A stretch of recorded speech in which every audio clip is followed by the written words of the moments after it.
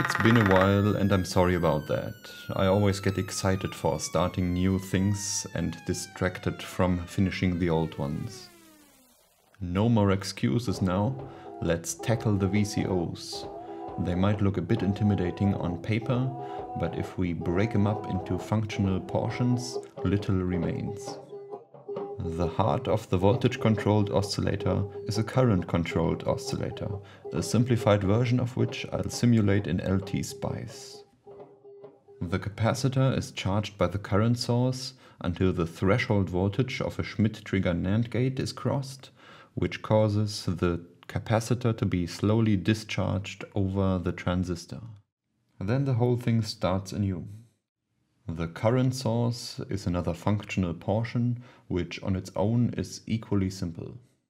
As the simulation reveals, this arrangement gives us a sawtooth waveform.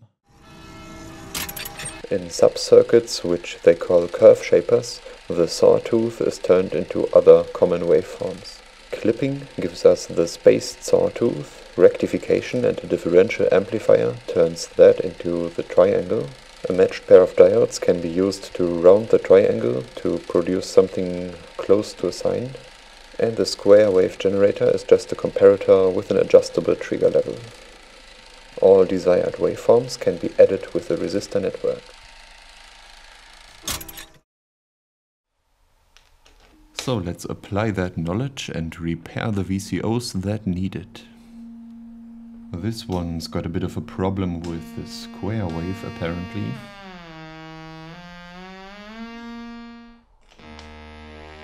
This one seems fine all around, surprisingly enough after standing around for 30 years approximately.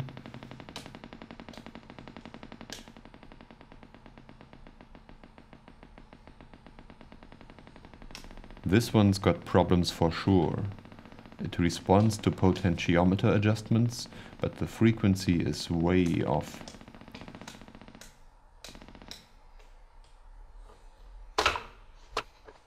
Anybody got some pasta sauce to go along with this?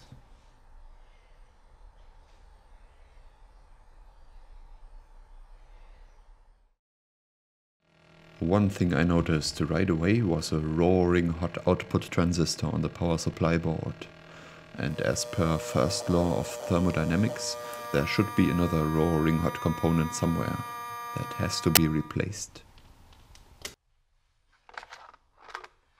Luckily it was just a UA741 general purpose op amp for which I have replacement parts, but it didn't solve the problem. Then I started recklessly feeling for other hot parts until I came across a certain wire by pure chance, which ultimately turned out to be the origin of this problem.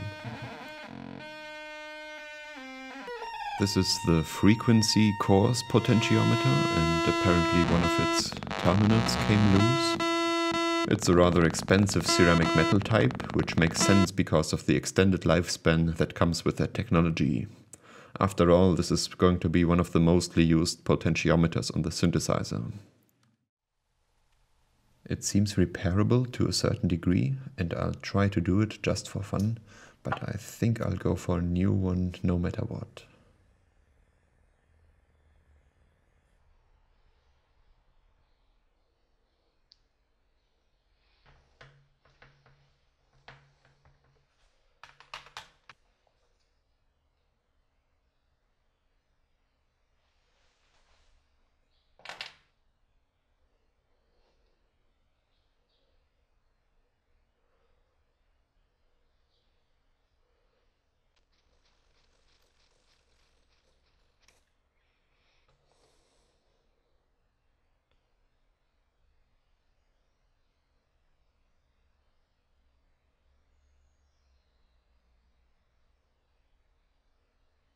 Anyway, this crude fix has to suffice for now, because there's still something left to repair.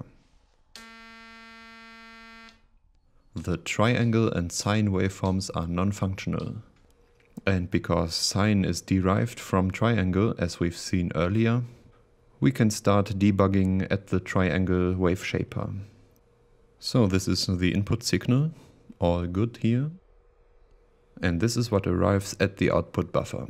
So the problem must be somewhere in between. Starting with the usual suspects, I hooked up a component tester to one of the transistors.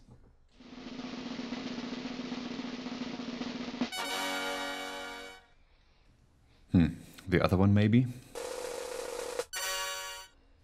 Nope. What now? Well, I poked around some more and found circumstances ideal. So I had to take a shot in the dark and replaced the transistors anyway, and that foil capacitor because it seemed to have something like a polarity designator, which bothered me. And that did it, believe it or not. Alright, that's it. Thanks for watching. See you next time.